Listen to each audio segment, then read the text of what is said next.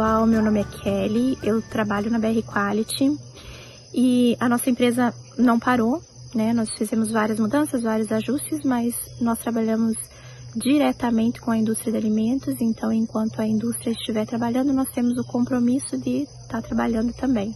É, mas nós nos reinventamos, nós tiramos do papel vários projetos que um dia sairiam no papel e acabaram saindo mais rápido e nós passamos a trabalhar com essa modalidade de à distância, né, na consultoria, até em atividades junto com a nossa própria equipe. E era algo que a gente tinha um pouco de dificuldade de achar que daria certo, de fazer dar certo e que hoje a gente viu que vai ficar para o pós-pandemia porque deu certo e é possível fazer esse tipo de trabalho, né? Uma consultoria à distância, uma, um trabalho à distância, desde que a equipe que está do outro lado também funcione bem nesse modelo. Ei, gente, eu sou a Carol, sou uma das diretoras do restaurante Vaporeto. E em meio a essa crise, em meio a essa pandemia, a gente está precisando se reinventar diariamente. Hoje o Vaporeto conta apenas com serviço de delivery e para isso adotou ferramentas que pudesse manter nosso serviço pleno e atendendo o nosso cliente na melhor qualidade possível, como com o aplicativo próprio, o site, telefone, mais contratação de motoboys próprios, sem ser terceirizados. E além disso, desenvolvemos uma linha de congelados para cliente, os clientes ficarem em casa e fazerem comida a hora que eles quiserem.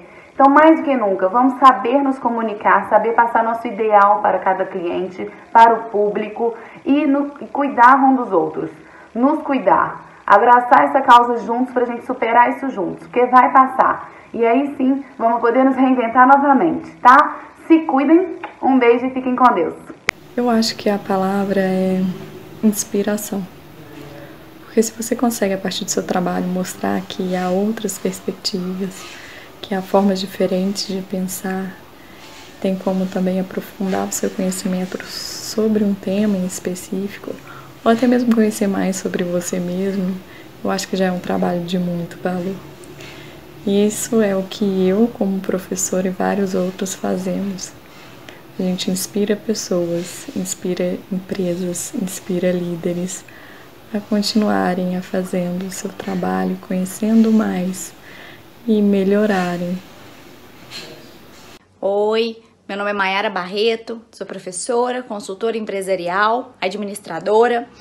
É, nesse período de pandemia, é, eu tenho trabalhado é, tentando compartilhar ao máximo conteúdos é, que auxiliam as pessoas a trabalhar em home office, a tentar se destacar, sobreviver de uma forma com bastante motivação é, e também auxiliando empresas através da consultoria a se destacarem e, e terem a satisfação dos seus clientes, dos seus consumidores neste período, a tentar buscar aí, né, conseguir romper essa esse paradigma que nós estamos quebrando através das vendas online e etc.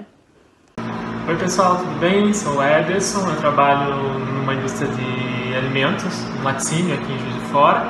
Eu estou aqui hoje para falar um pouquinho com vocês como é que está a nossa rotina então com essa questão do coronavírus. Né? Então, nós estamos trabalhando fortemente com os nossos é, colaboradores as questões de prevenção. Todos têm recebido álcool em gel para carregar na sua bolsa, no seu bolso. Todos têm recebido máscara para estar utilizando quando vem do trabalho, no ônibus, na rua. É, estamos reforçando cada vez mais as questões de boas práticas de fabricação, porque elas é, auxiliam também na prevenção, né? higienização das mãos, é, cuidado quando tossir, quando espirrar. Então, a gente tem trabalhado essas questões básicas junto aos nossos colaboradores. Nós também estamos né, passando por um momento de quarentena. A nossa quarentena é um pouquinho diferente porque nós estamos de casa para o trabalho, do trabalho para casa. Essa é a nossa rotina no nosso dia a dia, para evitar que a gente aí esteja se expondo ao risco desnecessariamente. Você, né, que não precisa sair de casa, fique em casa e deixa que a gente venha para o trabalho para poder assegurar que você e todos os nossos consumidores continuem tendo o alimento à sua mesa é, conforme necessidade. Tá bom? Um grande abraço para vocês. Olá pessoal, olá galera da BR Quality. Meu nome é Juliana, eu sou professora de língua inglesa para crianças há 10 anos. E neste momento, devido à pandemia, é, as crianças, as escolas, né, nós estamos todos de quarentena, então por conta disso nós temos que dar continuidade ao nosso trabalho através da internet, né? Afinal de contas, não é por conta disso que o conhecimento das crianças vai ser prejudicado de forma alguma. Então, o que eu tenho procurado fazer é, perante a essa situação é procurar levar o mesmo calor, o mesmo envolvimento para as crianças que eu levo dentro da sala de aula, mas através da internet né? Eu procuro fazer isso através de jogos, através de brincadeiras, através de histórias, muita imaginação. E é isso, assim, tem sido um desafio maravilhoso. A gente se reinventar é sempre bom, ainda mais a professor, na profissão de professor, né?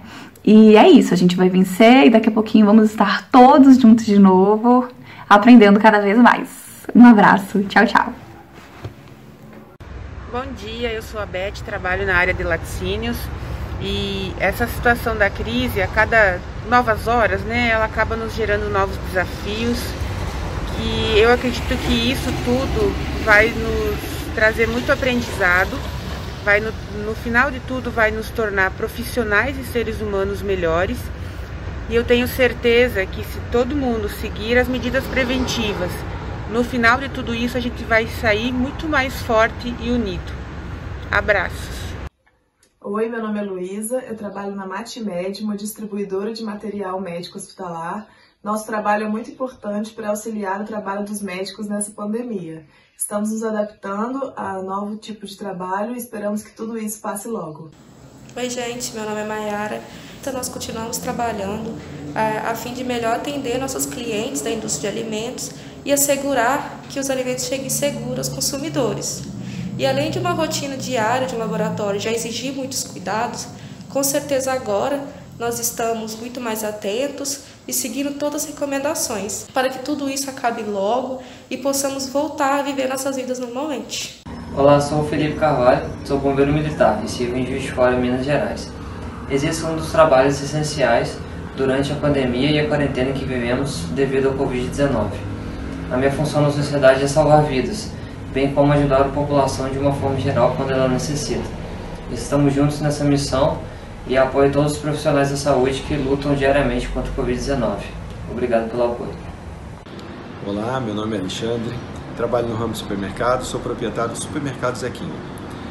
É, eu vim falar um pouco para vocês sobre as adequações que fizemos no nosso estabelecimento devido a esse momento de pandemia que estamos vivendo. Primeiramente, começamos a abrir o, as portas do mercado uma hora mais cedo para que o grupo de risco pudesse fazer suas compras com total segurança. Depois inserimos é, o uso dos EPIs, tais como luvas e máscaras, para a nossa equipe. E também percebemos o maior número de pedidos através do delivery, que nós já fazíamos, porém aumentou.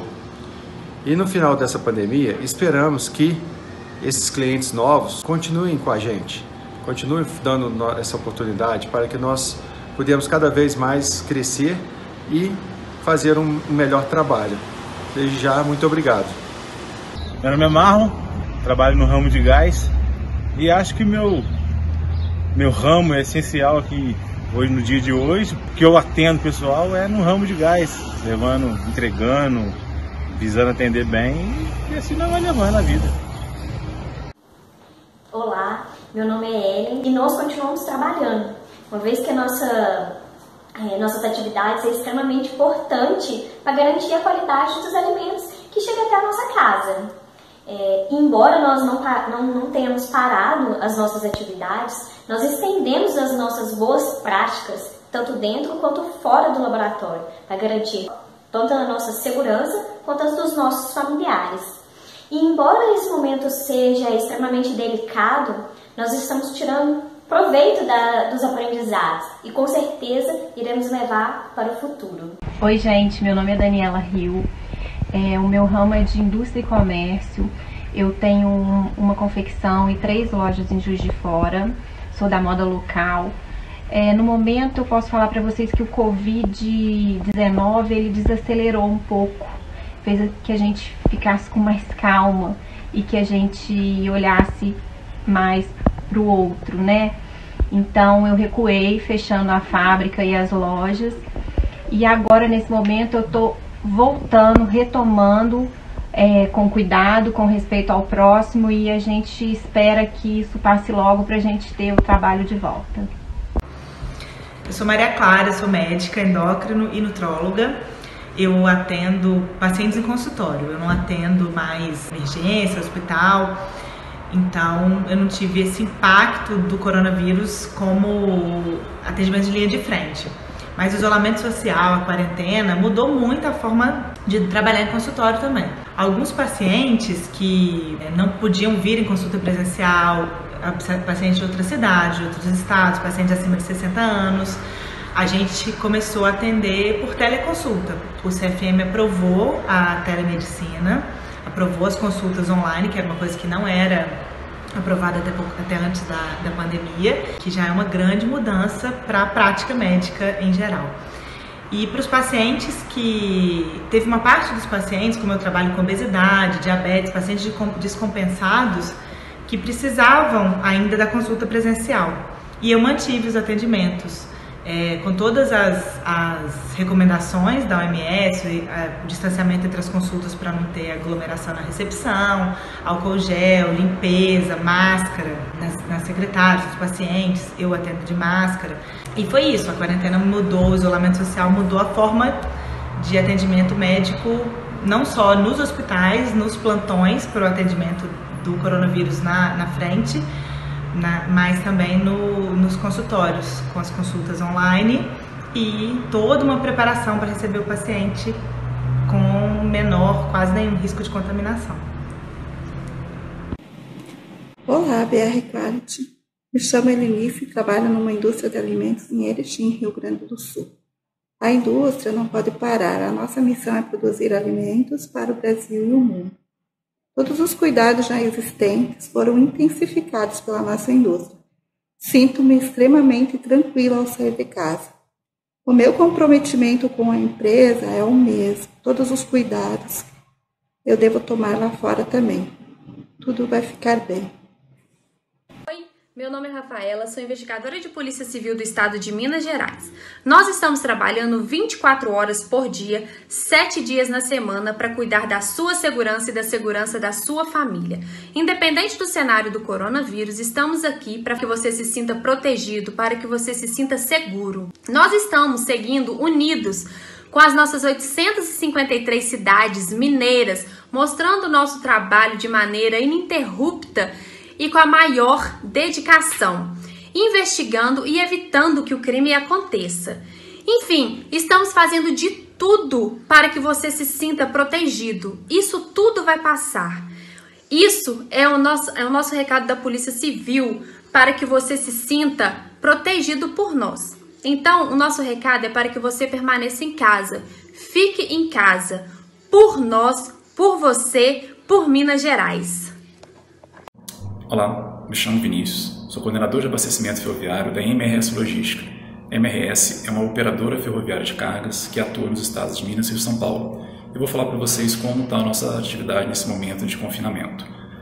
Para as atividades administrativas que não foram possíveis fazer home office, trabalhar à distância, nós conseguimos bloquear diversas medidas de controles. Dessas, a primeira que eu falei foi o home office, que te garante que quem fica aqui no prédio está distanciamento entre os profissionais disponibilizamos álcool em gel, disponibilizamos máscaras, testagem de febre nas entradas, de modo a eliminar qualquer tipo de suspeita. E os que tiverem minimamente suspeita, deixamos em quarentena para garantir nosso efetivo. As atividades operacionais que estão na linha de frente, essas também estão com todas as proteções através de óculos, álcool gel e máscaras de proteção. Nosso objetivo, como serviço essencial que não pode parar, é garantir que os nossos trabalhadores voltem para casa com toda segurança, como vieram trabalhar. Abraço. Acredito que essa pandemia pegou todos os setores de surpresa e nós, comerciantes pequenos, ficamos no primeiro momento sem saber como reagir diante das despesas que iam chegando e as receitas não entrando.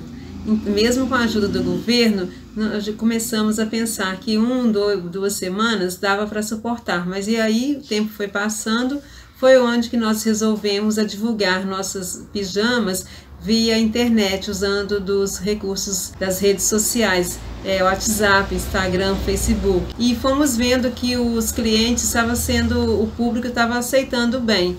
Então resolvemos arrumar um motoboy para fazer a entrega. Estamos higienizando as mercadorias direitinho, conforme os protocolos, para que o cliente seja bem atendido. Tem sido bem satisfatório para a gente esse novo recurso que a gente está usando das vias sociais. Olá, tudo bom? Meu nome é Francine Orso, eu sou fotógrafa de família e nessa pandemia a minha profissão ela parou totalmente, né? E a gente teve que se reinventar também, porque a gente teve que manter o afastamento a, das pessoas, né? Não podendo atender mais eventos, as, os eventos todos pararam. E a gente ficou então tendo a possibilidade de repensar, né, a nossa profissão também. E nesse momento a gente, eu percebi que as pessoas começaram a dar uma importância maior às fotografias, porque elas estavam mais juntas, elas se, foto, se registraram mais, elas tiveram mais tempo de relembrar, né, pegar fotos antigas, recordar. Muitos é, utilizaram esse tempo de quarentena para fazer seus álbuns antigos das fotos de aniversários. Então, assim, a nossa profissão, em vez de oferecer serviço, estava oferecendo produtos que o cliente poderia fazer nesse momento. Então, assim, a fotografia foi muito importante para recordar, né?